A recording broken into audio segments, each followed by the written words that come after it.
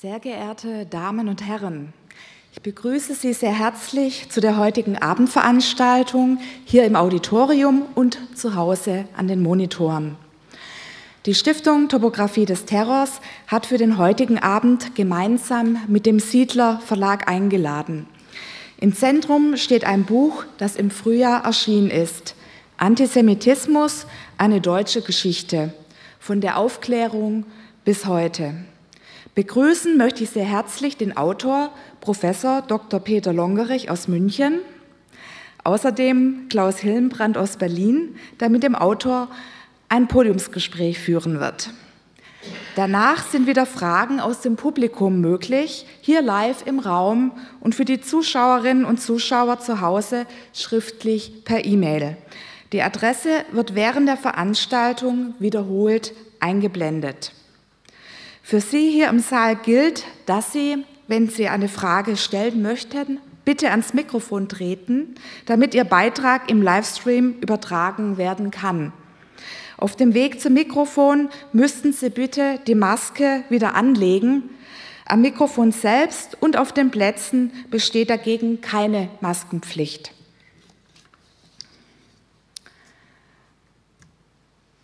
Meine Damen und Herren, Ende Juli dieses Jahres berichtete der Tagesspiegel über eine Demonstration jüdischer und nichtjüdischer Berlinerinnen und Berliner vor dem Rathaus Neukölln. Die Kundgebung hatte den Titel Jüdisches Leben ist keine Provokation und richtete sich gegen judenfeindliche Übergriffe. Der Grund? Im Frühjahr hatte es in Neukölln mehrere antisemitische Aufmärsche gegeben. Immer wieder, das macht dieses Beispiel deutlich, sind wir aktuell mit antisemitischen Einstellungen konfrontiert, die in unserer Gesellschaft verbreitet sind. Und auch mit antisemitischen Terroranschlägen, wie das Attentat von Halle 2019 zeigt, haben wir es wieder zu tun. Da erhalten wir von der Stiftung Topographie des Terrors eine Auseinandersetzung mit den historischen wie aktuellen Phänomenen des Antisemitismus und seinen Erscheinungsformen für unbedingt notwendig. Und immer wieder sind wir aufgerufen, auch gegen die damit verbundene Feindseligkeit gegenüber einer vorgeblich fremden Gruppe Stellung zu beziehen. In der Vergangenheit hat die Stiftung sowohl im Ausstellungs- als auch im Veranstaltungsbereich entsprechende thematische Schwerpunkte gesetzt. Erinnert sei beispielsweise an die zweiteilige Vortragsreihe Antisemitismus in Europa 1879 bis 1945, die die Stiftung zwischen 2013 und 2017 gemeinsam mit dem Zentrum für Antisemitismusforschung der Technischen Universität und in Verbindung mit der Stiftung Denkmal für die ermordeten Juden Europas durchgeführt hat.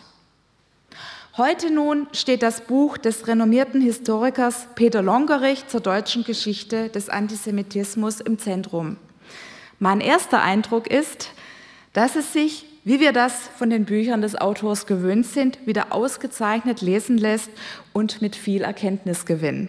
Ich bin sehr gespannt auf das heutige Podiumsgespräch. Ich möchte Ihnen nun kurz den Moderator des Abends vorstellen. Klaus Hillenbrand ist Politologe und leitender Redakteur bei der Taz. Zudem ist er Autor mehrerer Bücher zur NS-Geschichte. Seine Themenschwerpunkte sind Zeitgeschichte und der Nahe Osten. In unserem heutigen Kontext ist hervorzuheben, dass sich Herr Hillenbrand bereits im Rahmen einer Rezension, die er in der Taz, die in der Taz erschien, mit dem Buch von Peter Longerich ausführlich beschäftigt hat. Herr Hillenbrand, Sie haben das Wort. Ja, vielen Dank ähm, und auch von mir Herzlich willkommen hier in Berlin in der Topographie des Terrors.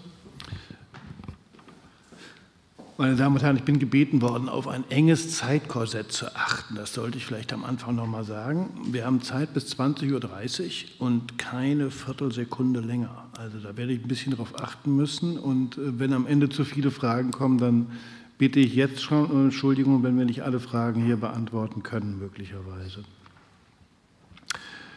Ja, ähm, Peter Longerich, der hier neben mir sitzt, bekannter Historiker, geboren 1955 in Krefeld, äh, bekannt auch vor allen Dingen durch seine Arbeit an der University of London im Director des Research Center for the Holocaust and the 20th Century History, hat auch an der Bundeswehruniversität in München gelehrt und ist der Autor von einer ganzen Reihe inzwischen doch sehr, sehr bekannt gewordener Bücher. Ich äh, beschränke mich hier auf einige wenige Bücher, einige wenige Werke. Davon haben wir nichts gewusst. Die Deutschen und die Judenverfolgung erschienen 2006, die mit der Mehr aufgeräumt hat, dass die deutsche Bevölkerung eben keine Ahnung gehabt habe, was mit den Juden während der NS-Zeit und insbesondere ab 1941 passiert ist. Dann die berühmte Biografie von ihm über Heinrich Himmler, erschienen 2018 die Goebbels-Biografie von 2010 und schließlich die Hitler-Biografie, die erst vor wenigen Jahren 2015 erschienen ist.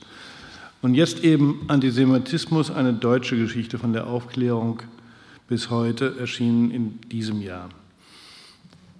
Das ist eine sehr spannende und zugleich eine sehr bedrückende Lektüre. Es geht um die Geschichte des Antisemitismus, beziehungsweise viel besser noch, glaube ich, der Antisemiten in Deutschland seit dem Wechsel vom 18. auf das 19. Jahrhundert bis zum heutigen Tag.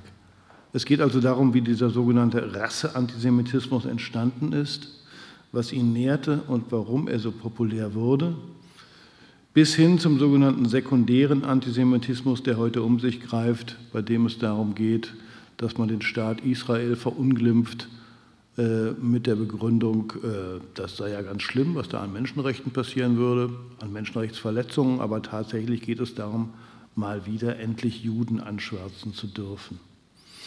Es ist ein Quellenbuch mit Hunderten von Verweisen auf das, was geschehen ist, mitsamt einer akribischen Einordnung. Und es geht um Vorurteile, Ressortiments, Verschwörungsmythen. Wie kann man ihnen rational auf die Spur kommen? Warum ist dieser Antisemitismus in Deutschland so erfolgreich, gipfelnd im Massenmord, im Nationalsozialismus? Herr Langerich war auch äh, Mitautor des ersten Antisemitismusberichts des Deutschen Bundestags von 2012. Und äh, da schließt sich meine erste Frage an, Herr Longerich. Äh, es gibt da eine deutliche Diskrepanz Einerseits ist ein Staatsziel in der Bundesrepublik Deutschland, den Antisemitismus zu bekämpfen. Da sind sich auch fast alle Parteien, bis auf eine, die ich jetzt hier nicht nennen möchte, einig. Andererseits äh, zeitigt dieser Kampf gegen den Antisemitismus bemerkenswert wenige Erfolge. War, woran könnte das liegen? Was meinen Sie? Naja, diese Diskrepanz äh, ist mir natürlich auch äh, in den letzten, ja natürlich, Wusste ich doch. Diese Diskrepanz ist mir natürlich in den letzten Jahren auch äh, immer stärker aufgefallen. Ähm, wenn man sich einfach mal anschaut, wie ist denn der Stand des Antisemitismus heute in, der, in, in Deutschland, dann haben wir eigentlich drei Möglichkeiten, ihn zu messen. Also es gibt einmal die Umfragen, aber wenn man da genauer hinschaut, dann sieht man, dass sie also nur relativ sporadisch und auch nicht tief genug durchgeführt werden, meistens im Kontext von Rechtsextremismus untersuchen, aber der Antisemitismus selber kommt nicht richtig in den Fokus. Diese Umfragen zeigen übrigens, dass der eher zurückgeht. Die zweite Möglichkeit sind, äh, ist die Kriminalitätsstatistik. Da sehen wir ein Ansteigen des Antisemitismus, aber das kann auch darauf zurückzuführen sein, dass man in den letzten Jahren gelernt hat, äh, genauer hinzuschauen auch durch Initiativen, die aus der Zivilgesellschaft kommen. Und dann haben wir drittens die äh, Beobachtung äh, der, der, Medien, jetzt vor allem der sozialen Medien, wo wir eine explosionsartige Zunahme von antisemitischen Äußerungen sehen, was aber auch wiederum vielleicht einfach nur ein, ein verändertes Kommunikationsverhalten ist. Vielleicht sind die gleichen Sprüche vorher am Stammtisch ähm, ähm, gefallen. Mit anderen Worten, ich wollte deutlich machen, wir wissen eigentlich gar nicht so genau, wie sich der Antisemitismus entwickelt. Wir haben kein zuverlässiges äh, Messinstrumentarium und das ist wiederum ein Teil dieser Diskrepanz. Wir reden über eine, über eine Bekämpfung eines Phänomens als Staatsziel, aber wir wissen gar nicht, wie der genau aussieht. Wir wissen vor allen Dingen nicht, wie der Antisemitismus sich in der Gesellschaft verbreitet, wie er unterirdisch immer weiter wuchert von Generation zu Generation. Wir wissen nicht, wie der Schulunterricht über Juden, über Antisemitismus bei den Schülern, Schülerinnen und Schülern ankommt. Da fehlen, äh, wir haben jetzt erste Untersuchungen, aber wir tappen da ziemlich im Dunkeln.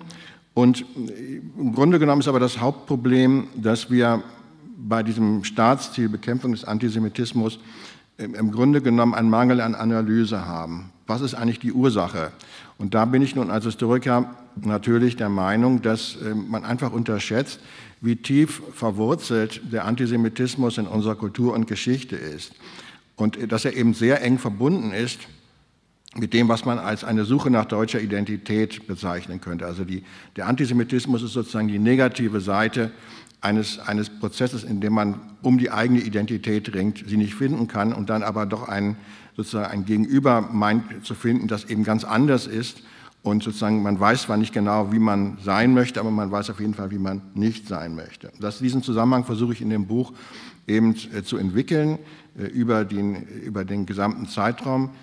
Hillenbrand rede ich zu lange, möchten, äh, also ich versuche das über den gesamten Zeitraum, wir müssen auch mal in den Gesprächsmodus herkommen, über diesen Zeitraum zu entwickeln. Äh, man sieht dann verschiedene Epochen, man sieht Unterschiede zwischen diesen Epochen, man sieht aber auch Kontinuitäten. Dann fangen wir da an, wo wir anfangen, nämlich am Anfang. 1793 ähm, äh, schrieb der Philosoph Johann Gottlieb Fichte, und das Zitat habe ich diesem Buch hier entnommen von Herrn Longerich, Fast durch alle Länder von Europa verbreitet sich ein mächtiger, feindselig gesinnter Staat, der mit allen übrigen in beständigem Kriege steht und der in manchem fürchterlich schwer auf die Bürger drückt. Es ist das Judentum. Zitat Ende. Herr Longerich, Sie betonen in Ihrem Buch äh, die Rolle des Antisemitismus äh, bei der Nationswerdung Deutschlands im 19. Jahrhundert, insbesondere zu Beginn des 19. Jahrhunderts.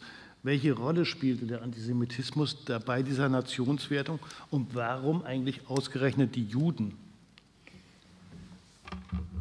Also zunächst mal konzentriere ich mich auf, in dem Buch äh, auf den sogenannten modernen Antisemitismus oder die moderne Judenfeindschaft. Das heißt also diejenige Form des Antisemitismus, die sich nicht gegen die Juden als Angehörige einer fremden Religion richtet, sondern als mögliche gleichberechtigte Staatsbürger. Man will diese, diesen Anspruch der Emanzipation der Juden äh, aufhalten und man will, ihn, äh, man will ihn, äh, diesen Anspruch nicht wahrnehmen. Und äh, im Grunde genommen beginnt die Geschichte des modernen Antisemitismus genau an dem Zeitpunkt, wo aufgeklärte äh, Beamte und Gelehrte äh, anfangen, die Frage einer möglichen Emanzipation der Juden zu, äh, auf, auf, die Tagesordnung zu bringen. Und nun formiert sich sofort Widerstand. Und zwar Widerstand bei durchaus, Sie haben das Beispiel Fichte genannt, bei den besten gelehrten Köpfen, die man damals, äh, die man damals hatte. Und je weiter, je, je stärker diese Forderung nun erhoben wird, zunächst von der Aufklärung, dann, dann später auch von den Frühliberalen, desto stärker wird der Widerstand. Man kann sofort sehen, in den 1780er, 1790er Jahren, ähm, wie eben dann auch sehr schnell der, der, der Ton einer höflichen, gelehrten Debatte verlassen wird und dann wirklich äh, mit Schmutz, mit Schmutz geworfen wird, sodass zum Teil äh, die preußischen Zensurbehörden eingeschritten sind und die Debatte unterbunden haben, weil sie ihnen zu wild wurde. Also ähm, ich versuche eben hier darzustellen, dass äh, es zwei parallele Diskussionen gibt, die miteinander verwoben sind. Das ist einmal die Frage, Emanzipation der Juden, Gleichberechtigung der Juden. Wie kann das gehen? Wie können sie gleichberechtigte, äh, äh gleichberechtigter Staatsbürger werden? Eine Debatte, die 1780 etwa beginnt und die 90 Jahre anhält und erst 1869 oder 1871 eben zur Gleichberechtigung führt. Und während dieser 90 Jahre hat man sich ständig darüber unterhalten, ob die Juden nun sozusagen schon weit genug fortgeschritten sind, dass man ihnen dieses Recht oder jenes Recht geben könnte. Und in Preußen war die Sache wieder anders als in Bayern oder in Württemberg und in Baden und so weiter. Und parallel dazu haben wir eine, einen zweiten Diskurs, den Diskurs über die deutsche Identität. Zunächst mal einen vor allen Dingen kulturellen Diskurs, also wie, wie, was ist, hält Deutschland als, als, eine, als, eine, als eine Kulturnation zusammen, was ist deutsche Identität eine gemeinsame deutsche Sprache, was kann die leisten? Braucht, braucht man nicht ein nationales, eine nationale Literatur, ein Nationaltheater? Worauf gründet diese deutsche Identität? Auf gemeinsamer Sprache, auf gemeinsamer Kultur, äh, auf gemeinsamer Abstammung. Und gerade in diesem Diskurs äh, und natürlich auf dem, Christ, auf dem Christentum auch zum erheblichen Teil, genau in diesem Diskurs werden die Juden ausgeschlossen. Sie sind nicht Teil dieser im, in, im Entstehen äh, begriffenen Nation sondern sie sind im Grunde genommen das negative, das negative Gegenüber. Äh, also die, diejenigen, äh, diejenigen eben, ähm, die so sind, wie man nicht sein will. Warum nun die Juden? Ähm, Und zunächst mal müsste man natürlich auch sehen, dass eine Nationsbildung sich immer gegen eine andere, ein anderes Volk oder gegen, eine, ja, gegen ein anderes Volk oder gegen eine andere Nation vollzieht. Natürlich spielt in dem deutschen Fall spielen die Franzosen eine große Rolle. Also die deutsche Nationalbewegung ist durch und durch antifranzösisch durchdrängt während des, während des gesamten 19. Jahrhunderts und 20. Jahrhunderts in der ersten Hälfte auch noch.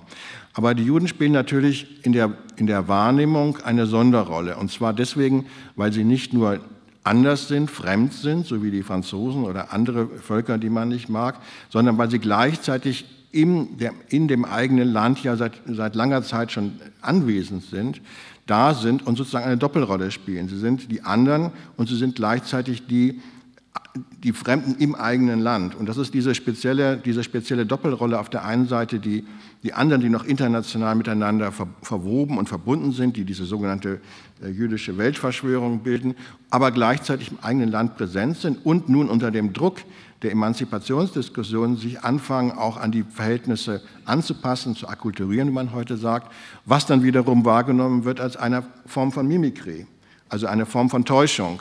Äh, die tun so, als wenn sie so seien wie wir, um das mal populär auszudrücken.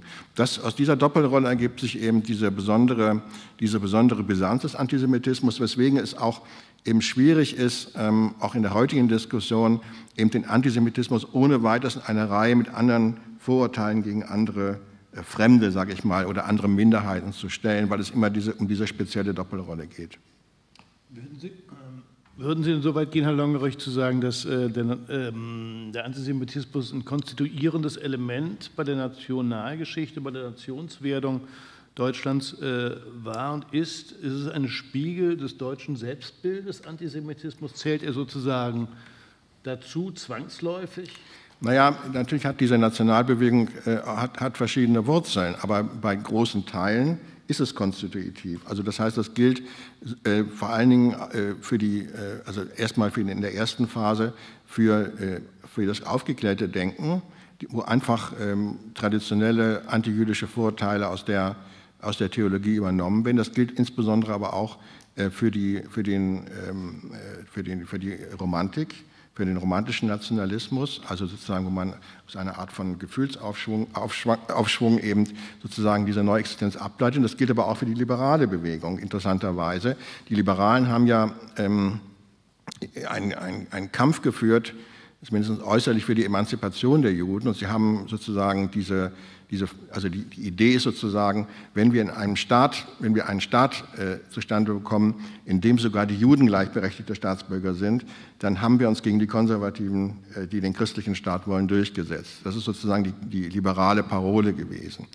Und äh, man sieht aber sehr deutlich, wenn man sich im Einzelnen äh, liberale, führende liberale Denker und äh, Politiker ansieht, dass sie sehr starke innerliche Vorbehalte gegenüber die Gleichberechtigung haben. Im Grunde genommen äh, aus rationalen Gründen die Gleichberechtigung befürworten, aber gefühlsmäßig eigentlich ablehnen, weil sie nämlich gleichzeitig auch ähm, romantische Nationalisten sind und auch genau die, die, gleiche Grundhaltung haben und im Grunde genommen unter sich sagen, ja eigentlich sind die Juden eben anders als wir. Sie haben eine andere Abstammung, eine andere Kultur, eine andere Lebensweise und deswegen ähm, muss man diesen Prozess zumindest verlangsamen, wenn man ihn nicht vielleicht ähm, so, so, verlangsamt, dass man ihn am Schluss ganz, unmö äh, ganz unmöglich macht.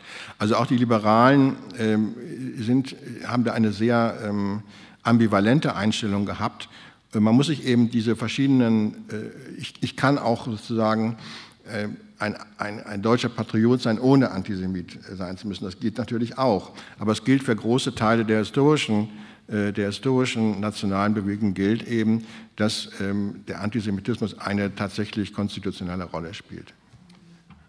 Aber wenn wir jetzt äh, ans 18. Jahrhundert denken, gut, da kann man äh, argumentieren, dass äh, jüdische Menschen tatsächlich noch zum Beispiel an ihrer Kleidung kenntlich waren oder vielleicht an, an ihrer Sprache im 18. Jahrhundert, dass sie sich in gewisser Weise unterschieden von nichtjüdischen Deutschen, also von Christen, von Katholiken oder von Protestanten.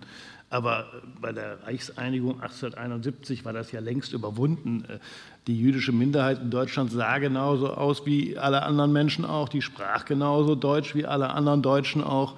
Von daher hatte sich dieses Unterscheidungsmerkmal ja erübrigt. Äh, da gab es keinen Unterschied mehr. Trotzdem wurde dieser Unterschied weiter postuliert und von den Antisemiten aber mit Erfolg. Ja, und Sie hatten äh, in der Weihnachtszeit einen Weihnachtsbaum in Ihren Häusern, in Ihren Wohnungen und ähm, äh, sagten eben, Sie seien wie die, so wie die große jüdische Organisation hieß, sie seien eben deutsche Staatsbürger jüdischen Glaubens und das sei der einzige, das einzige Unterscheidungskriterium. Aber äh, diese Argumentation geht ja davon aus, äh, dass man dem Antisemitismus auf rationale Weise beikommen kann und das kann man eben nicht. Das heißt, je mehr sich äh, die gerade das jüdische Bürgertum, denken etwa hier in Berlin, akkulturiert hat und also sozusagen die Lebensweise äh, der sie umgebenden Bevölkerung angenommen hat. Äh, das, hinzu kam ja auch eine, eine, genauso wie im übrigen Bürgertum, eine, eine Loslösung äh, von der Religion und ähnliches mehr. Je mehr dieser Prozess voranschritt, desto mehr wurde eben auf der Gegenseite argumentiert, ja, das ist eben ein äußerlicher Anpassungsprozess, die tarnen sich. Die sind, haben nach wie vor die gleiche betrügerische Wirtschaftsmentalität. Die haben diesen internationalen, internationalen Verbindungen, von denen man nicht genau weiß, wie sie aussehen. Ähm, sie ähm, bevorzugen ähm, den Kontakt mit anderen Juden, machen irgendwelche Geschäfte untereinander und so weiter und so weiter und so weiter. Und äh, je mehr sozusagen dieser Anpassungsprozess oder dieser Akkulturationsprozess voranschritt, desto schärfer wird der Widerstand äh, auf der, auf der antisemitischen Seite, weil ein Antisemit im Prinzip ähm, hat ein Feindbild und ähm, er ist nicht mit, mit rationalen Argumenten davon zu überzeugen, dass ein Feindbild äh, irrig ist, sondern er wird im Gegenteil ähm, seine Argumentation unter dem Eindruck dieser Entwicklung noch verstärken und verschärfen. Ja, Herr Longerich, aber das ist alles richtig, aber wie kommt es dann dazu, dass der Antisemitismus, dass diese Bewegung der Antisemiten im 19. Jahrhundert so erfolgreich gerade in Deutschland werden konnte? Äh, lag es daran, weil die regierenden Schichten selbst äh, antisemitische Neigungen durchaus äh, hatten? Lag es daran, dass er zu wenig bekämpft worden ist damals, dass man ihn nicht ernst genommen hat? oder war immer noch Teil der nationalen Bewegung, dem man damit auch eine gewisse Anerkennung gegeben hat? Ja, man muss natürlich hier zunächst mal vorsichtig sein. Es ist die, die radikale antisemitische Bewegung, also diejenigen, die wirklich die Emanzipation der Juden wieder rückgängig machen wollte. Erst sie bekämpft hat und dann, als sie eingetreten war, sie rückgängig machen wollte. Das war natürlich eine, kleine, eine relativ kleine fanatische Minderheit. Aber es gibt darüber hinaus eben äh, diese diffusen ähm, Vorurteile in der Gesellschaft. Also ich denke, dass im Kaiserreich man ohne weiteres sagen kann, dass vermutlich bei einer Mehrheit der Bevölkerung diffuse, eine diffuse Ablehnung und Distanz gegenüber Juden vorhanden war. Das wurzelte zum Teil noch in religiösen Vorurteilen. Aber natürlich war diese Argumentation ähm, der Antisemiten, dass die Juden in dieser deutschen Nation irgendwie ein Fremdkörper sind, dass sie irgendwie anders sind, dass sie nicht richtig dazugehörten. Das waren natürlich Argumente, die durchaus ähm, über diesen Kreis der radikalen Antisemiten hinaus verfingen. Man muss eben sehen, dass diese deutsche nationale Identität eben in einem sehr starken Maße auf diesen Faktoren Abstammung, gemeinsame Geschichte, Kultur, ähm, äh, Sprache beruht und nicht etwa, um das, das, radikale Gegenbeispiel zu nehmen, in den Vereinigten Staaten, wo es eigentlich in der, in der Geschichte im 19. Jahrhundert keine großen äh, Probleme mit Antisemitismus gegeben hat, weil die Verfassung auf, auf Werten beruht und dieser Verfassung, wer dieser Verfassung sich unterordnet und Amerikaner sein möchte, der ist herzlich eingeladen, teilzunehmen soweit er die weiße Hautfarbe natürlich hatte damals. Das ist klar. Aber ähm, es, ist, es gibt eben diese Gemengelage von radikalen Antisemiten und diesen weit Vorurteilen und die, der radikale Antisemitismus, die Argumente, die sind eben anschlussfähig bei dieser, bei dieser Mehrheit. Übrigens, ähm, soweit das, das Kaiserreich angeht, würde ich argumentieren, dass Natürlich, es, es, gab antisemitische Parteien, die eigentlich nicht sehr erfolgreich waren. Es gab Massenorganisationen, die den Antisemitismus bedienten. Es gehörte auch im Bürgertum zum guten Ton, antisemitisch zu sein, antisemitische Witze zu machen und so weiter. Trotzdem würde ich aber Bedingungen des Kaiserreichs der Antisemitismus strukturell nicht durchsetzungsfähig war, weil die konservativen Eliten, die dieses, dieses, dieses, diesen Staat beherrschten, ähm, im Grunde genommen 1871 mit den Liberalen einen Gründungskompromiss geschlossen hatten und die Emanzipation war Teil dieses Gründungskompromisses. Und hinter diese Linie wollten sie nicht zurückgehen. Sie wollten nicht äh, einmal gegebene Grundrechte äh, wieder, äh, wieder zurücknehmen und sie wollten auch nicht ihre jüdischen Bankiers, ihre jüdischen Ärzte ihre äh, jüdischen Anwälte sozusagen äh, loswerden, sondern sie hatten sich längst an, an, diese, an diese Gemeinschaft gewöhnt. Also ähm, insofern denke ich, dass es eben doch ganz dramatischer äh, Einschnitte und Ereignisse bedarf, um dann zu erklären, wie nach dem Ende des Kaiserreichs diese Ideologie tatsächlich äh, sich weiter durchsetzen konnte und letzten Endes zu einer Staatsideologie werden konnte. Dann schließen wir da doch gleich an. Der Antisemitismus war äh, bis zum Ersten Weltkrieg äh, eine Bewegung, die die staatliche Ordnung prinzipiell unterstützt hat, also mit dem Kaiserreich einverstanden war. Und das änderte sich nach dem Krieg, nach dem Ersten Weltkrieg und nach der Revolution in Deutschland radikal. Ähm, nun war Antisemitismus, nun waren die Antisemiten gegen diesen Staat, den sie als in Anführungszeichen Judenrepublik verunglimpften und wollten ihn zerstören und entweder zurückkehren zum alten Kaiserreich oder wie etwa die Nationalsozialisten zu etwas ganz Neuem. Äh, gab es daraus, darüber hinaus bei den Antisemiten einen gemeinsamen politischen Nenner für die, für die Antisemiten oder war das tatsächlich so divers? Die einen wollten das Kaiserreich haben, antisemitisch konnotiert, mit einer entsprechenden Unterdrückung oder Diskriminierung der Juden, die anderen wollten eine Diktatur mit einem Führer an der Spitze oder kann man da gemeinsame Entwicklungslinien verfolgen? Ja, wenn man jetzt versucht, ähm, die Radikalisierung des Antisemitismus seit dem 19. Jahrhundert zu erklären, dann würden äh, viele meiner Historikerkollegen argumentieren, ähm, es handelt sich um ein Krisenphänomen. Also immer dann, äh, wenn, wenn wirtschaftliche oder politische Krisen ausbrechen, dann steigt der Antisemitismus an. Äh, da spielt natürlich der Erste Weltkrieg dann eine große Rolle, die Inflationszeit, die Weltwirtschaftskrise und so weiter. Mir greift diese Argumentation ganz ehrlich gesagt zu kurz.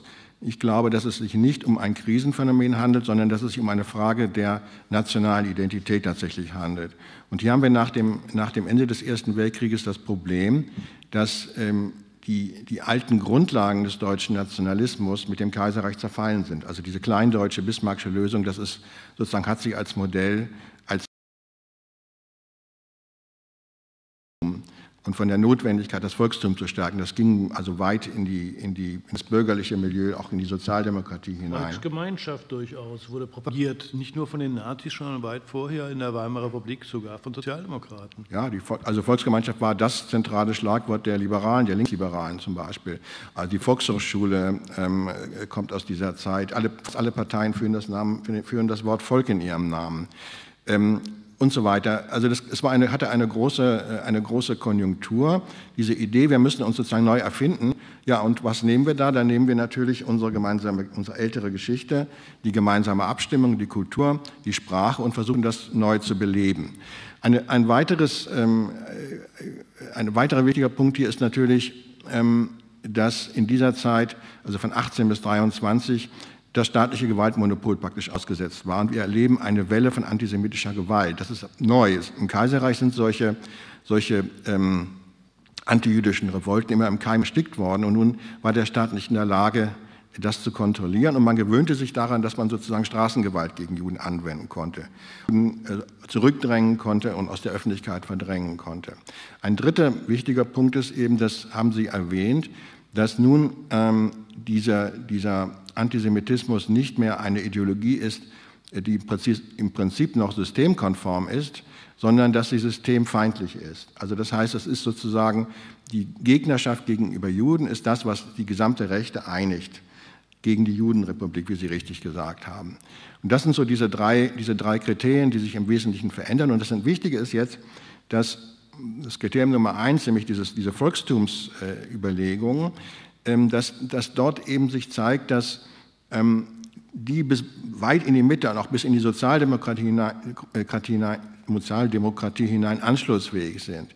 Das heißt, dieser, dieser bisher völkische Diskurs, dass man sagte, ähm, ein, ein Jude kann aufgrund seiner Abstammung, einer anderen Abstammung, seiner anderen Kultur einfach nicht Deutscher sein, das war nun eine Überzeugung, die fand äh, einen breiteren Widerhall, weil man sagte, ja, wir haben natürlich nichts gegen Juden, wir sollen ja auch hier bei uns gleichberechtigt leben, aber im Grunde genommen ist an dieser Argumentation was dran. Sie sind doch irgendwie anders als wir.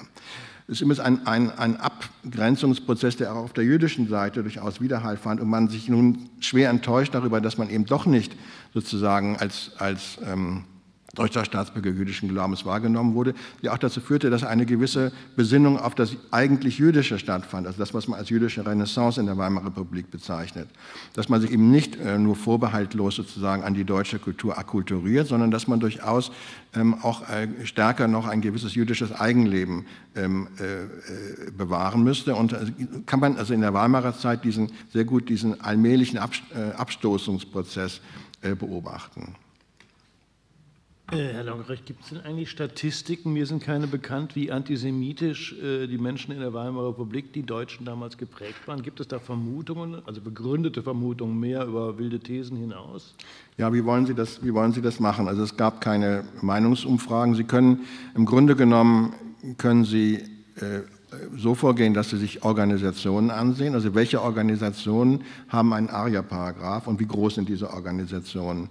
Und dann sehen Sie, dass in der, auf der gesamten äh, politischen, äh, sagen wir, im konservativen Spektrum oder im nationalliberalen Spektrum in dieser Zeit sich mit vielen Organisationen äh, dieser ARIA-Paragraph durchsetzt, also der, dass die Beschlüsse fassen oder zumindest doch die Diskussion führen, können eigentlich Juden bei uns Mitglied sein.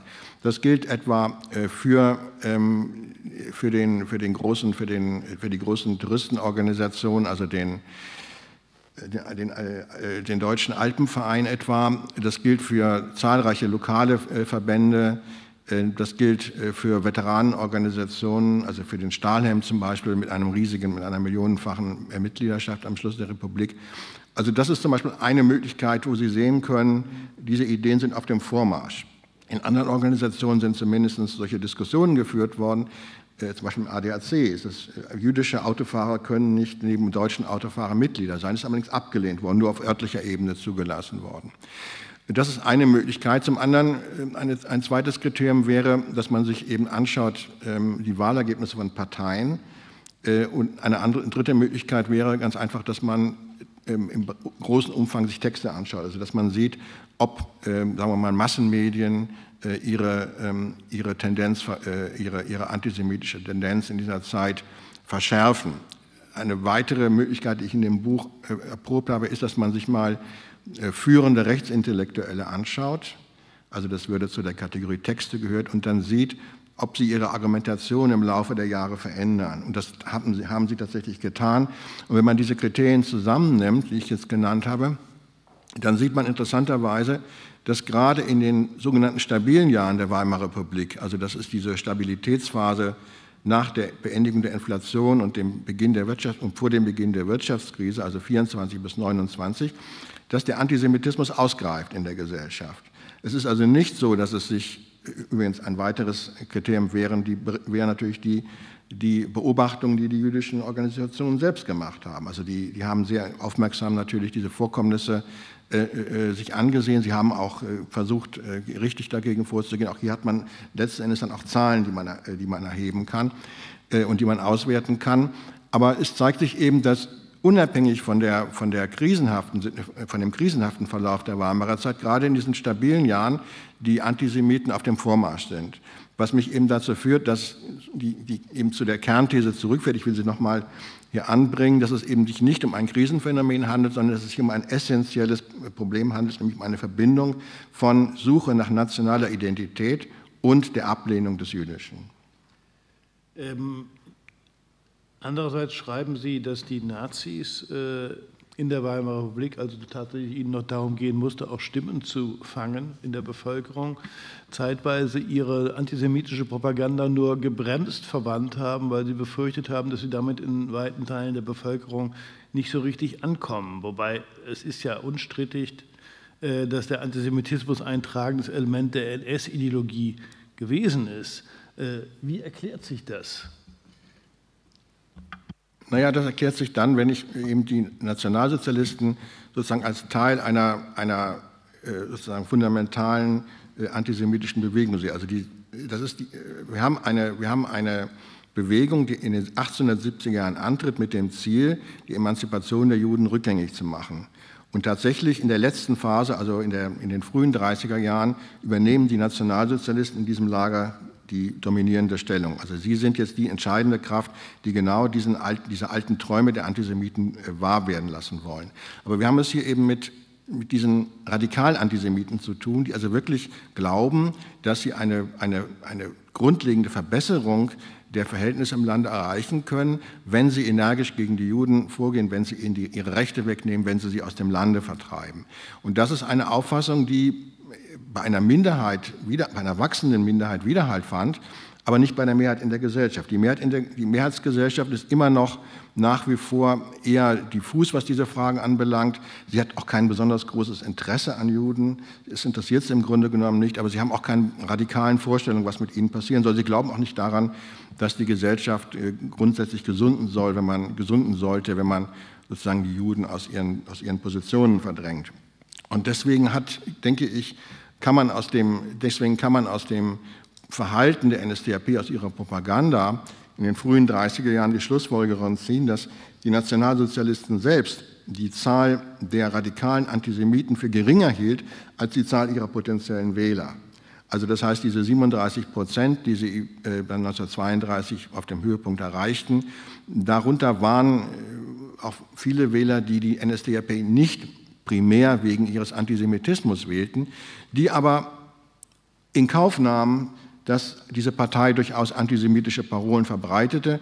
Und zeitweilig hat ja die Partei eben, wie Sie sagten, auch diese, äh, diese Parolen etwas zurückgefahren. Sie hat sie sozusagen so präsentiert, dass sie für den radikalen Antisemiten gut sichtbar waren, also etwa in, in symbolischer Form. Das Symbol der Schlange spielt zum Beispiel eine große Rolle in der, in, der, in, der, in der Endphase der Weimarer Republik bei den Plakaten der Nationalsozialisten. Das war aber für einen nicht in der Wolle gefärbten Antisemiten relativ bedeutungslos. Der konnte das übersehen, der konnte damit leben. So versuche ich das zu erklären. Danke. Die furchtbare Spitze des Antisemitismus bildet zweifellos der Holocaust mit dem Massenmord an den Juden von Deutschland ausgehend. Es gab schon im 19. Jahrhundert durchaus Gewaltfantasien auch gegen Juden. Das finden Sie auch im Buch von Peter Longerich sehr eindrücklich beschrieben. Aber kann man wenn wir die Entwicklung des Antisemitismus betrachten, war das im 19. Jahrhundert angelegt? Ich denke doch nicht. Es war eine Entwicklung, die sich sehr viel später eingesetzt hat, dass man sich tatsächlich vorstellte und befürwortete, Menschen tatsächlich umzubringen, zu vernichten, zu ermorden in diesem Stile. Nein, also diese äußerste radikale Konsequenz äh, des Antisemitismus, wenn ich das so sagen darf, die war eigentlich nicht verbreitet. Also es gibt, äh, in der, es gibt in der Tat einige, äh, eine ganze Reihe von, von ziemlich schauerlichen Beispielen von Fantasien, die aber meistens dann wieder zurückgerufen wurden. Also nach dem Motto, wir wollen doch nicht etwa das, wie im Mittelalter äh, Juden äh, in Spanien verbrannt wurden. Ähm, wir wollen doch nicht, oder wie gesagt, heißt es bei Fichte, im Grunde genommen müsste man doch das ist aber als Metapher gemeint, den Juden die Köpfe abschneiden, damit wir das Jüdische aus ihnen austreiben. Er wollte ihnen aber nicht die Köpfe äh, abschneiden, er wollte ihnen sogar die Menschenrechte, aber nicht die Bürgerrechte zubilligen. Also, aber interessant ist ja doch, dass es ähm, offensichtlich in, bei vielen, gerade bei diesen Intellektuellen, bereits im 19. Jahrhundert, auch im späten 18. Jahrhundert, wenn Sie über diese Judenfrage nachdenken, dass da Gewaltfantasien ausgelöst werden. Also sie waren nicht sozusagen äh, äh, gefeit gegen solche, gegen solche Gedanken und dann werden sie wieder unterdrückt, weil das gehört sich halt nicht, das macht man nicht. Wir wissen aber nun, dass ähm, wenn, sich, wenn sich in einer Gesellschaft auch die moralischen Stellschrauben verändern und plötzlich Dinge äh, nicht mehr verfolgt werden, die, normalerweise als Verbrechen gelten, die normalerweise als Verbrechen gelten, dass dann auch ähm, eine gewisse Tendenz da ist, sozusagen sich an diese neuen moralischen Standards sehr schnell zu gewöhnen. Also wenn jemand, wenn der Staat plötzlich solche Gewaltfantasien nicht verbietet, sondern sie selber, äh, sie selber äh, in, in, Massenmedien verbreitet und wenn die Sprache gegenüber Juden immer schärfer wird und auch die, die Maßnahmen, die dadurch ergriffen werden, immer schärfer werden, dann setzt ein, ein, ein moralischer, eine, ein Prozess der moralischen Verschiebung ein. Und das, was sozusagen früher nur angedacht wurde, das ist, ist plötzlich machbar, das ist äh, vorstellbar. Und ähm, ich würde aber äh, genau wie Sie eben nicht äh, davon reden, dass sozusagen der Holocaust, also die äh, massenhafte Ermordung der Juden, dass das sozusagen im 19. Jahrhundert angelegt gewesen ist. Das, ich würde eben viel stärker betonen, dass, wenn man diese Entwicklung erklären will, man vor allen Dingen sich diese, die Weimarer Republik ansehen muss, diese Ausbreitung des Antisemitismus mit, mit wieder passiert, wenn eine antisemitische Bewegung diese Fantasien, die sie mit sich trägt, plötzlich in der Lage, in der, wenn sie plötzlich in der Lage ist, diese Fantasien mit Hilfe eines Staatsapparates umzusetzen. Dann kommt es zu einem, einem, einem Prozess einer Selbstdynamik. Das heißt, diese Bewegung verspricht, sie kann die äh, Probleme des Landes lösen, indem sie die Juden schrittweise zurückdrängt. Und wenn sich diese Prophezeiung nicht als erfolgreich erweist, dann muss sie noch radikaler vorgehen und noch den nächsten Schritt tun, den nächsten Schritt und den nächsten Schritt. Und dann werden Organisationen geschaffen, Spezialisten ähm, werden, äh, werden äh, angestellt. Es gibt Karrieren für, für, für, ähm, äh, antijüdische, äh, äh, für antijüdische Spezialisten. Jedes Ministerium hat ein Judenreferat. Also es kommt ein, es kommt ein Prozess in Gange, wo sozusagen der Staat, der Staatsapparat ähm, insgesamt überhaupt ja, die Partei und der Staat zusammen sozusagen eine Bewegung auslösen, die dann nicht mehr, im, nicht mehr im, äh, im Zuge eines Krieges praktisch nicht mehr abzustoppen ist, wenn sich nicht äh, dieser Nationalsozialismus selber von seinen eigenen äh, Grundsätzen verabschieden wollte.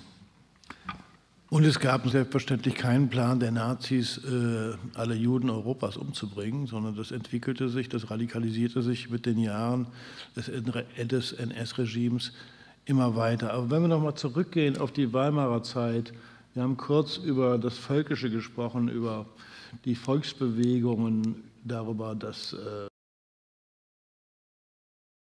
äh, bei den demokratischeren Parteien eine rationalere Form von Politik zu finden, sondern immer wieder an diesen Nationalgedanken des einigen Volkes, äh, das möglichst natürlich aus äh, einer Gruppe von gleichen Menschen bestehen sollte, nach der Vorstellung von Nationalisten. War das ein Fehler? Hat das dazu geführt, dass die Nazis leichter an die Macht kommen konnten, dass es diesen Grundkonsens gab, das Volk ist etwas unglaublich Gutes und ein kohärentes, eine kohärente Gruppe, die zusammengehören würde? Ja, also das ist die.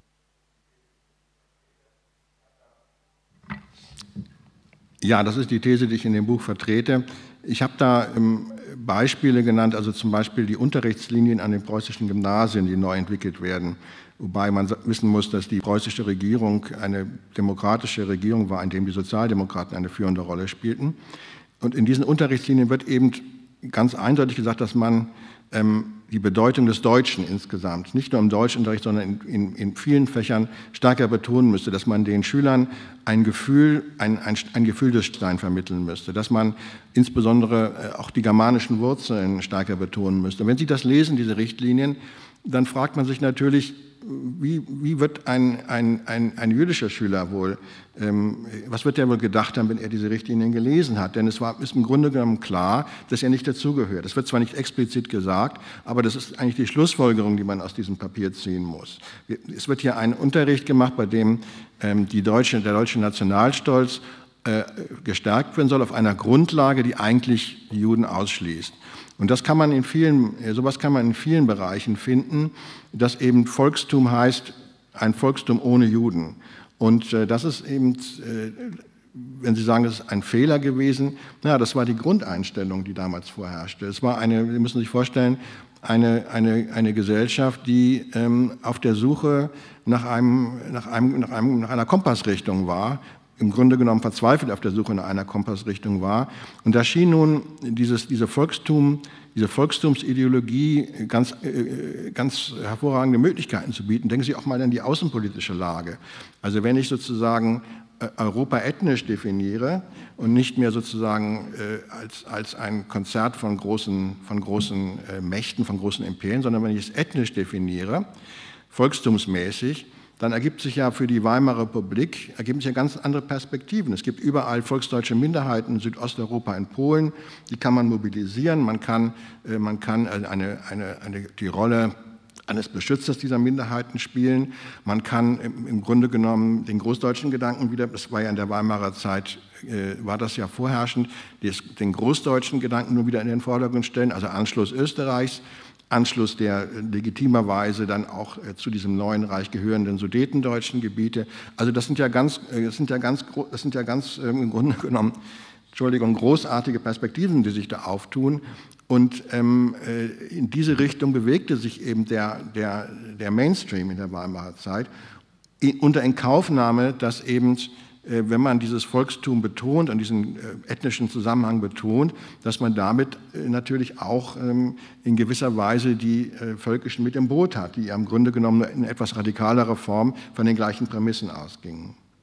Heißt, ein Volk umringt, eine Nation umringt von äußeren Feinden, sei es Polen, sei es Frankreich, als sei es Großbritannien und mit einem furchtbar bösartigen inneren Feind, nämlich der jüdischen Minderheit?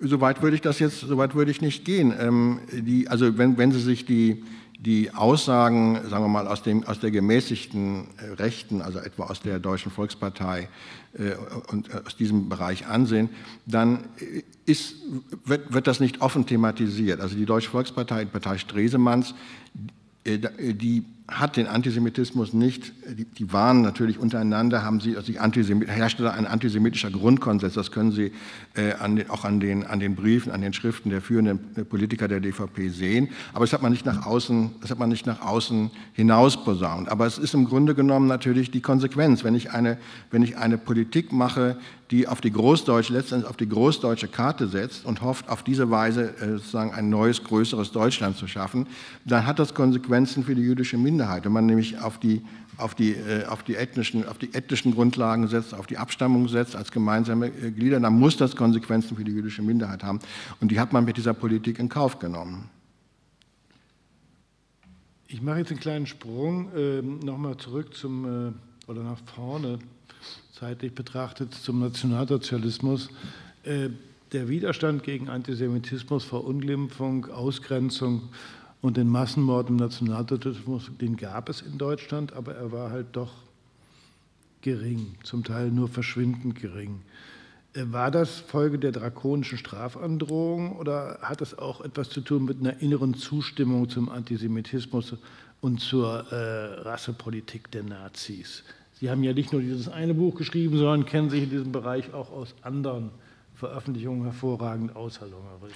Naja, ähm, also wie gesagt, die, diese Idee der radikalen Antisemiten, dass man eben die Juden entrechten müsste, hatte 1933 keine Mehrheit in der Bevölkerung. Es war ja auch so, dass die anderen Parteien äh, sozusagen diese Forderung nicht in ihren Programmen stehen hatten. Wenn das so attraktiv gewesen wäre, hätte auch die Deutsche Nationale Volkspartei das in ihr Programm aufgenommen und andere Rechtsparteien ebenso. Das war aber nicht der Fall, sondern wir haben es hier zu tun mit einer Mehrheitsbevölkerung, die eben nach wie vor diese allgemeine Ablehnung, diese diffusen Vorurteile gegen Juden in sich trägt. Und nun ist das und, und keine, aber das, daraus keine radikalen politischen äh, Zielsetzungen ableitet. Aber jetzt unter den Bedingungen einer Diktatur und eines allgegenwärtigen staatlich verkündeten Antisemitismus ist es natürlich so, dass äh, es keine, eigentlich sehr schwierig ist, sozusagen noch Unterschiede in der antisemitischen Haltung deutlich zu machen. Also ich stehe dann vor der Frage, bist du ein Judenfreund? Also bist du für uns oder bist du für die anderen? Und in dieser Entscheidungssituation es, dauert es gar nicht sehr lange, bis eben eine, eine große, eine, eine wahrscheinlich doch Mehrheit in der Bevölkerung zumindest diese Politik hinnimmt. Ähm, weil sie auch keine, weil sie auch im Grunde genommen nicht gelernt hat, ähm, aus ihrer, aus ihrer Familiengeschichte her, aus, ihrem, aus der Geschichte ihrer sozialen Milieus her, sozusagen einen Widerstand entgegenzusetzen, sondern im Grunde genommen geht man, stimmt man mit, mit, mit vielen Grundüberzeugungen über Juden überein. Man will vielleicht nicht die gleichen äh, äh, radikalen Konsequenzen daraus ziehen, aber wie will man das in einer solchen, wie will man das unter diesen Bedingungen, wenn die Dynamik erstmal da ist, überhaupt noch deutlich machen?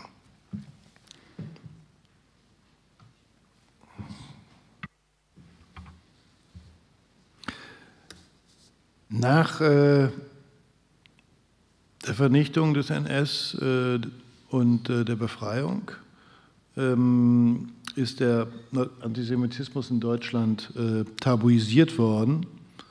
Äh, man hat ihn nicht aufgearbeitet, er verschwand auch nicht, er lebte sozusagen, ich glaube, das schreiben Sie auch, in den Familienverbänden fort.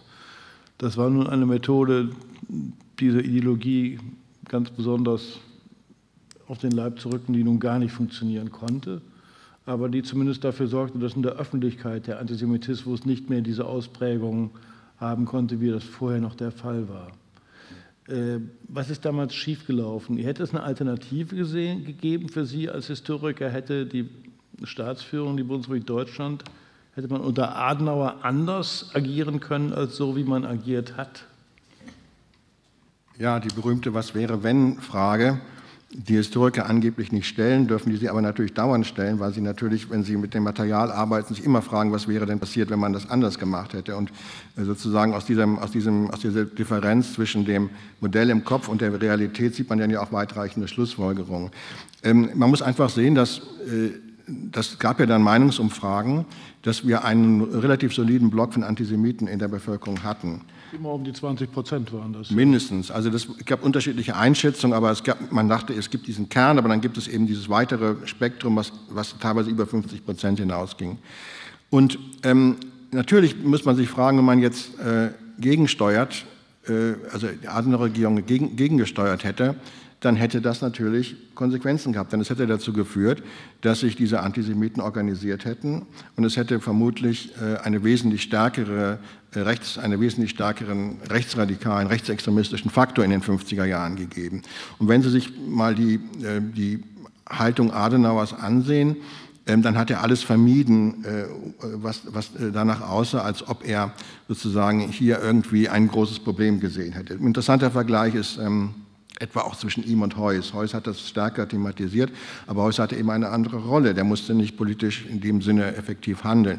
Man kann das übrigens, diese, diese, dieses Kleinreden des Antisemitismus, kann man ähm, auch bis in die Ära Kohl äh, weiterverfolgen. Es gab äh, in den Anfang der 80er Jahre, als Kohl eine Regierung war, eine äh, Studie Universität Köln, die also auch nicht überraschend äh, wieder auf diesen, auf diesen Block von Antisemiten ähm, hinwies, die ja nach wie vor da waren. Das konnte man bei den Befragungen herausbekommen. Ähm, und es gab ja auch rechtsradikale Parteien, es gab Publikationen und so weiter. Äh, und Kohl wurde nun von den Grünen äh, konfrontiert mit dieser Zahl und sagt, das gibt es nicht. Das ist in unserem Land, das ist, das, wir haben sowas nicht. Unsere Leute, unsere gerade die jungen Leute, die sind sehr aufgeschlossen und das ist einfach Unsinn. Also er hat das gar nicht, das ist ein typisch, eine typische Reaktion, ähm, dass man also das einfach nicht wahrnehmen will. Und man muss natürlich sehen, ähm, die, die Geschichte der Bundesrepublik wäre anders verlaufen. Es wäre ähm, vermutlich hätte es eine, wäre es eben keine Konsensdemokratie gewesen, sondern man hätte eine, einen massiven, einen soliden äh, rechtsextremen Block in der Gesellschaft gehabt. Den hätte man dann bekämpfen können. Aber das ist sozusagen, das gehört dann eben zu diesem Alternativmodell dazu. Das Modell Adenauer hat dazu insofern Erfolg äh, gehabt, als dass die rechtsradikalen Parteien die es noch Anfang der 50er Jahre durchaus mit einer gewissen Stärke in der Bundesrepublik Deutschland gegeben hat, sehr schnell unter die äh, dann eingeführte 5-Prozent-Hürde gedrückt wurden und in der offiziösen Politik keine Rolle mehr gespielt haben. Der Antisemitismus aber ist geblieben. Und wenn wir jetzt einen noch längeren Sprung machen, um ungefähr 50 Jahre bis zur heutigen Zeit, äh, dann sehen wir vor allen Dingen in der jüngsten Zeit einen sekundären Antisemitismus der sich äh, gegen den Staat Israel wendet. Ich habe es zu Beginn kurz erwähnt, mit Sprüchen wie Kindermörder Israels oder ähnlichem, äh, der den Staat Israel in Frage stellt, weil er jüdisch ist. Es gibt verschiedene Bemühungen, Israel zu boykottieren. Man denke nur an diese Initiative BDS. Und wir haben zugleich derzeit eine Hochzeit von Verschwörungsmythen aller Art im Zuge der Corona-Pandemie. Und da steht dann halt mal Rotschild hinter dem Virus und äh, die angeblichen Impfgegner pappen sich Judensterne an die Brust und behaupten, sie seien ungeimpften. Das sei ja, ihre Diskriminierung sei ja durchaus vergleichbar mit äh, der Diskriminierung der Juden und dem Schicksal von Anne Frank. Äh, Herr Longerich, wo beginnt da tatsächlich Antisemitismus, wobei ich jetzt keineswegs alles in einen Haufen werfen möchte. Es gibt da sicherlich Differenzierungen. Ähm, aber wenn wir mal mit Israel beginnen, das findet, äh, Sie erwähnen das ja auch in Ihrem Buch, wann wird eine Kritik, nein, nicht eine Kritik, wann wird, werden Worte gegen Israel tatsächlich äh, zu Antisemitismus und wann eben nicht? Kann man da eine genaue Differenzierung herstellen? Und es ist allen klar, wenn man den Staat Israel und seine Politik kritisiert, ist das natürlich völlig legitim. Aber ist es auch legitim, ist es nicht antisemitisch, wenn äh, Menschen daherkommen und behaupten, äh, Israel gehört eigentlich abgeschafft? Ja, an dieser Stelle muss man jetzt normalerweise immer erstmal sagen, dass äh, Kritik an Israel legitim ist. Warum eigentlich? Was sagt man eigentlich? Diese, diese, diese Selbstverständlichkeit macht man bei keinem anderen Staat. Äh, ich lasse es auch jetzt nicht aus, aber man muss ja doch einfach mal, ich denke, man kann diese Unterscheidung schon machen, wobei ich mir dann vorbehalten würde, dass es auch eine gewisse Grauzone gibt, äh, die interpretationsfähig ist, also wann die Kritik an, oder die, äh, die Feindschaft gegenüber Israel antisemitisch ist und wann nicht. Der entscheidende Punkt ist, ähm, doch richtet sich, also ich würde unterscheiden zwischen einer Israel-Kritik, so wie wir auch eine Amerika-Kritik, Frankreich-Kritik, aber das kennen wir nicht als Wort haben, und einer und einer Feindschaft, einer feindseligen Einstellung gegenüber Israel. Ähm, also da gibt es, äh, äh, wenn man also äh, zum Teil Äußerungen über die israelische Politik, die eine, eine, eine ganz jämmerliche Karikatur dessen sind, was da wirklich passiert. So, diese, diese Feindseligkeit ist an sich ähm, schon mal zu kritisieren, aber sie ist nicht per se antisemitisch. Also solange sich die Kritik gegen den Staat Israel und seine Institutionen richtet, ist es möglicherweise ärgerlich, auch wer eine israelische Flagge verbrennt, der beginnt, einen ärgerlichen, macht, äh, beginnt etwas, was ärgerlich ist, aber es ist nicht unbedingt antisemitisch. Aber ähm, die Untersuchungen, die ich hier zitiere, deuten darauf hin, dass eine wirklich feindselige Haltung gegenüber Israel häufig mit, sich mit antisemitischen, mit antisemitischen Motiven äh, vermengt. Das ist ganz klar, wer, man kann das bei diesen Umfragen sehen, wer besonders heftig Israel kritisiert, neigt auch dazu, eher antisemitisch zu sein. Ähm, das heißt aber jetzt nicht, das heißt, das, das Schwierige ist jetzt in dem Einzelfall, wenn ich sozusagen hier mit jemandem diskutiere und der kritisiert Israel, sozusagen den Beweis zu führen, das ist Antisemitismus oder nicht. Man kann äh, zum Teil eine gewisse, eine gewisse Ähnlichkeit der Argumente sehen, aber den Beweis sozusagen und daraus den Vorwurf zu formulieren, Sie sind Antisemit oder du bist Antisemit, das ist im Einzelfall schwierig. Ähm, weil natürlich auch ähm, die wirklich ähm, antisemitischen Israel-Feinde natürlich auch gelernt haben, mit, diesem, mit, mit dieser Sprache umzugehen und auch zum, zum, großen Teil wissen, wie sie formulieren müssen. Also das heißt, es gibt im Prinzip die Unterscheidung, ich würde auch an der Unterscheidung festhalten wollen, zwischen Israel-Feindschaft, auch wenn dieser schon abzulehnen ist, und einer Verbindung und einer Vermengung von Israel-Feindschaft und Antisemitismus. Aber ich sage gleichzeitig auch, dass es eine Zone gibt, eine Grauzone gibt, wo es außerordentlich schwierig ist, diese Unterscheidung wirklich präzise zu machen. Und die Frage ist, wie viel Zeit wir damit verbringen wollen, diese Grauzone weiter auszuleuchten. Oder ob wir nicht sagen, ähm, ähm, im Grunde genommen äh, lassen wir das so stehen, wir können im Grunde genommen gegen diese Form äh, nichts unternehmen. Naja, ich meine, wir haben eben über die Tabuisierung des Antisemitismus während der Adenauerzeit gesprochen. Mhm. Und viele Antisemiten haben daraus ja gelernt. Der Antisemitismus, der verbreitet wird heutzutage, ist ja oft ein getarnter Judenhass. Das heißt, man kodiert etwas, das äh, die Eingeweihten verstehen, dass es nämlich Antisemitismus ist, das aber formal und auch strafrechtlich äh, nicht als judenfeindlich äh, eingeschätzt werden kann und weswegen auch möglichst wenig Konsequenzen den Personen drohen, die diese Sprüche ablassen. Also ich, ja. von daher glaube ich, wir müssen uns schon mit diesem Phänomen beschäftigen. Ja, aber es, ist, es gibt, einen, es gibt einen, sozusagen eine, einen engeren Bereich, wo die Diskussionen fruchtlos werden, weil sie können hier, also das, an der Position halte ich fest, weil sie können sozusagen diesen letzten Beweis nicht antreten. Sie müssen natürlich, was sie natürlich machen müssen, müssen sie müssen ein Bewusstsein dafür schaffen. Ich will mal äh, ein Beispiel nennen. Ähm, es gibt diese, diese äh, Floskel Auge um Auge, Zahn um Zahn. Und äh, die wird zum Teil oder wurde zum Teil von, auch von führenden Journalisten in, der, äh, in Deutschland benutzt, in den letzten Jahren noch, um deutlich zu machen, ähm, naja, in Israel herrscht eben dieser alttestamentarische Rachegedanke vor. Die können nicht anders. Das müssen sie aus ihrer Geschichte auch tun. Auge um Auge, Zahn um Zahn war mal eine, Titel, äh, eine, eine Titelschlagzeile vom Spiegel und ein großes äh, Fernsehnachrichtenmagazin, der Moderator hat mal eine Israel, einen Israel-Beitrag so aufgemacht, der war früher übrigens selbst Israel-Korrespondent. Und jetzt, ähm, viele, und viele würden wahrscheinlich diesen, diesen Satz unterschreiben und würden sagen, ja, das ist eben eine, die haben ein anderes, ein anderes Verständnis, die Israelis aufgrund ihrer Geschichte von, von Rache, aber der Satz meint etwas ganz anderes. Er ist auch, wird auch heute zumindest in dem in, dem, in, in der, an, an, an, theologischen Seminaren nicht in diesem Sinne gelehrt, als, Rache, als Rachemotiv, sondern Auge um Auge, um Auge Zahn um Zahn ist ein Begriff aus der, aus der, antiken, aus der, aus der antiken Debatte zwischen Rechtsgelehrten und meint, dass wenn jemand einem anderen einen Schaden äh, zufügt, dass er dann berechtigt ist, in einer entsprechenden Höhe entschädigt zu werden. Also wenn ich jemandem ein Auge ausschlage, dann muss ich ihm sozusagen den Gegenwert dieses Auges, was immer das ist, ersetzen. Aber was ich nicht darf, ist, ich darf Rache üben und muss ebenfalls vielleicht beide Augen ausstechen. Also das heißt, das ist ein Versuch, wenn man das mal in dem historischen Kontext sieht, ähm, tatsächlich ähm, diese Konflikte einzudämmen und den Rache, den, das Racheprinzip eben, äh, eben äh, abzuschaffen. Und wer, dieses, diesen, wer das nicht weiß und diese, diese, diesen Slogan immer noch benutzt, der bedient antisemitische Vorurteile. Er weiß das vielleicht gar nicht. Denn er, er, er, verbreitet diese Idee, dass die Juden eben dieses starke Rachebedürfnis haben. Das wäre, das wäre so ein Beispiel, ähm, wo man sozusagen in, in den sozusagen mal aufklären und steuernd in diesen Diskurs eingriff, eingreifen müsste. Und das ist auch geschehen schon. Eine anderes, ähm, andere Geschichte, die kurz, ich kurz noch einbringen möchte, war, um mal, mal die Virulenz dieses ganzen Problems aufzuzeigen. Ähm, wenn Sie ein Statement vorlegen, vorlegen bei einer Meinungsbefragung, das etwa heißt, wenn ich mir die Politik des, der, des Staates Israels gegenüber den Palästinensern ansehe, kann ich verstehen, dass man etwas gegen Juden hat.